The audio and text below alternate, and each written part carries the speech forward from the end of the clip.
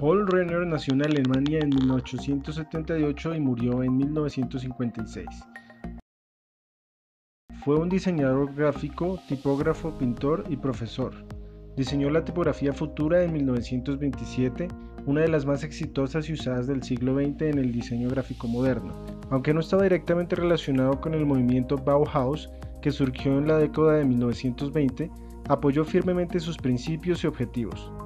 Renner puede ser visto como un puente entre el diseño tradicional del siglo XIX y el moderno del siglo XX. Intentó fusionar las tipografías gótica y romana, pero finalmente se convirtió en el principal defensor de la nueva tipografía.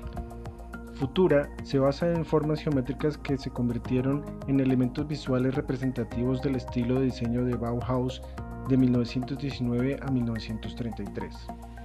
Debido a que las letras góticas mayúsculas son excesivamente ornamentadas, los diseñadores modernos deberían usar tipos de letras romanos, y mejor aún, fuentes geométricas como Futura, que se convirtió en la piedra angular de la nueva tipografía clasificada como modernismo geométrico. La forma sigue a la función, se convirtió en el concepto ligado al razonamiento cuidadoso de la época que limitó todas las formas de los personajes a su máxima simplicidad funcional. Con Futura, en términos tipográficos, la revolución industrial había llegado a su conclusión lógica. Paul Renner fue muy influyente en la transición entre los tipos de letras tradicionales del siglo XIX y los modernos del siglo XX. Su creación de tipo de letras sans serif futura marcó un cambio en la historia al proponer alternativas además de las tipografías gótica y romana. Las obras notables de Renner incluyen El arte de la tipografía y Tipografía como arte.